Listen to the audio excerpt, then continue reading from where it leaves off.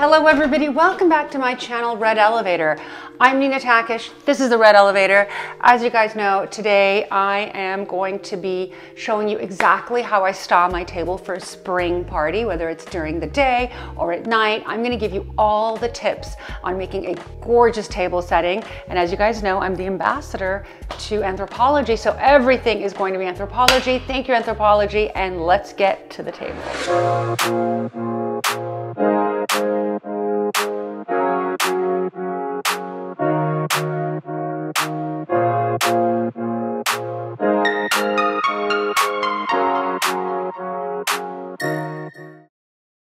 And since so many of you asked, today I'm wearing a beautiful spring dress courtesy of Anthropologie. Thank you for this gorgeous dress.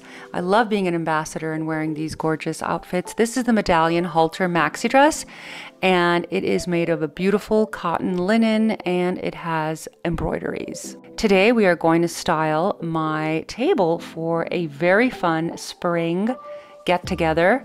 So I'm going to start by showing you how to set a table and how to make everything look wonderful. And the first thing that I've done is that I'm using my Verona vases from Anthropologie. Everything that you see in this video will be linked below and everything is from Anthropologie's Spring Table Setting Collection. Today I'm going to show you exactly how I set my spring dinner table. It's daylight right now, but we are going to have beautiful candles, and we are going to show you exactly what products I used from Anthropologie to set this table. First and foremost, I am placing down my Duke oatmeal placemats above my uh, very fun Renata table runner, as you saw.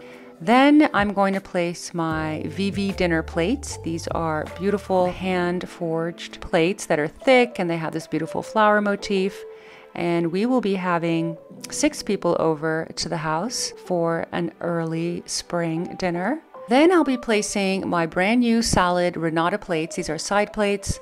They are adorable and they have an alternating pattern, which makes it a little more fun and a little more interesting, as are the napkins. They come in different colors, but everything is here to be complementary, a little different, a little unique, and of course, work beautifully together.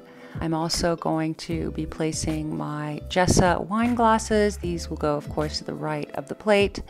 And let's not forget our utensils. I love using gold utensils to bring a little bit of color and warmth into my table setting. The knife on the right, fork on the left, and of course my spoon on the top, which will be my dessert spoon. I'm planning on serving a beautiful sorbet for this warm spring evening and therefore I am placing my sorbet bowls at the moment on the table because they are so chic and so fun and I wanted the guests to enjoy the entire table before I dismantle it and start serving our food. The Vivi pitcher is a really good one. I like to have fresh water in here and ready on hand for everyone to stay hydrated. There is nothing more beautiful than fresh flowers on a spring table.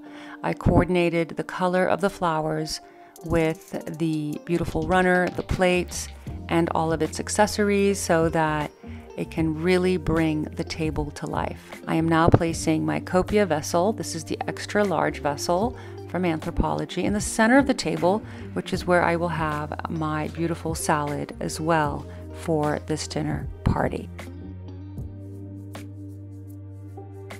I love placing candles on a dinner table, whether it's indoor or outdoor. They really make the space come together. The flicker of the light, the shadow that it creates, the Fiora molded wax candles are definitely the ones to get. I also have my ornamental kale I've placed in the gold vase. And as you can see, my dinner table is set and we are ready to entertain. This is going to be a very fun evening of laughter, reminiscence, and of course, celebration of a wonderful life to live. I hope you guys enjoyed this segment and enjoyed the beauty of setting a table, of making sure everything is balanced, color coordinated, and never ever to forget the fresh flowers in the spring.